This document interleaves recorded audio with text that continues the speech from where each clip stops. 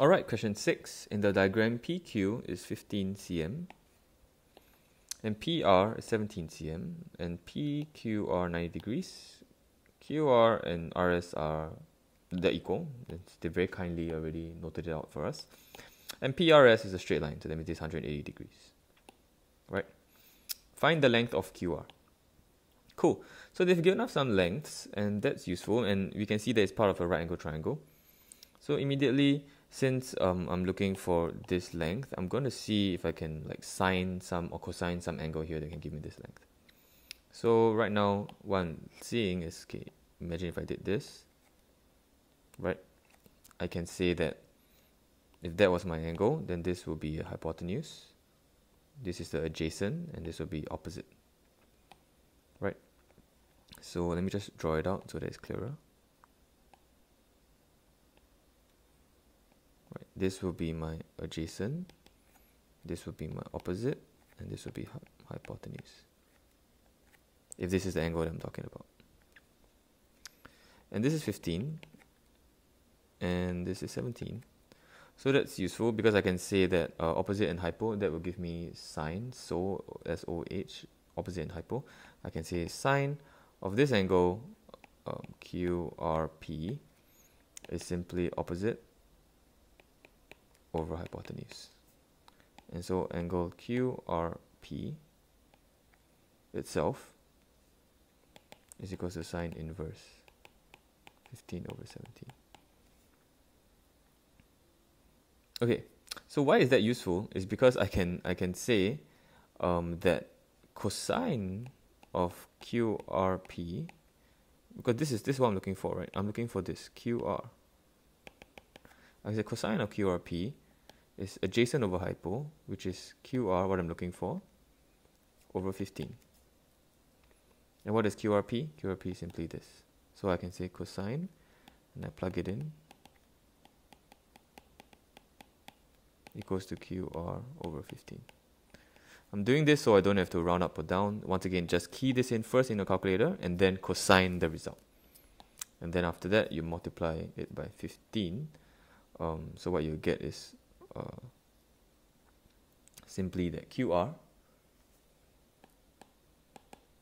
equals to 8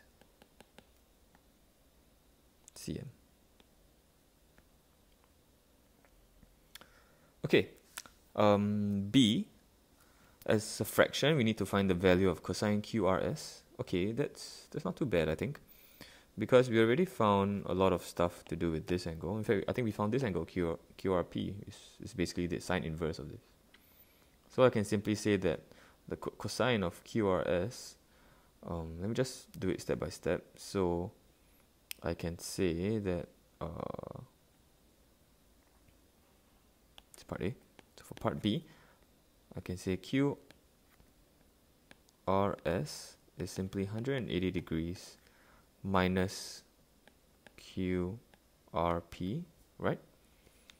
And 180 degrees minus QRP is simply 180 degrees. What's QRP? This. Minus sine inverse 15 minus 17. And then I say cosine of this will be cosine QRS cosine of this.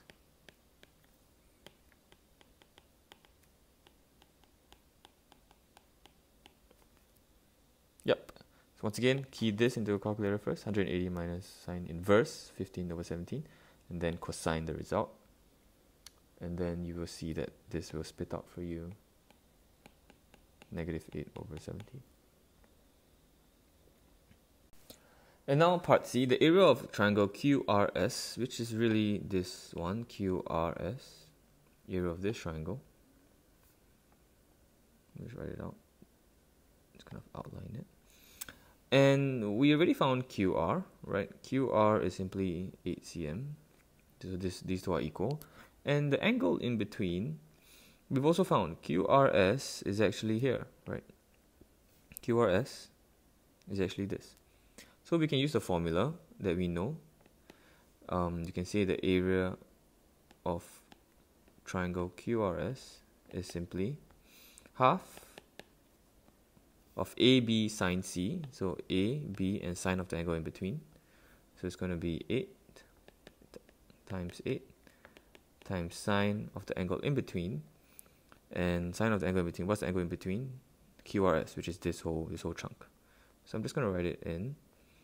Now, if you don't like it to do it this way, you can actually just type it in separately, you know, solve it side, uh, step by step. But for me, it's because I don't want to uh, round up or down and stuff. Like this. Where this is simply angle QRS. Yeah, the angle in between.